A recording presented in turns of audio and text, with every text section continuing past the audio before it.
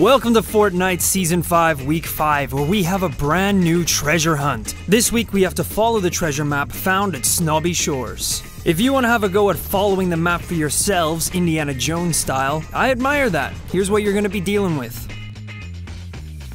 Now, if you want to go straight for the treasure, then head on over to, you guessed it, Haunted Hills. The treasure can be found on the roof of this building right beside the church. Simple.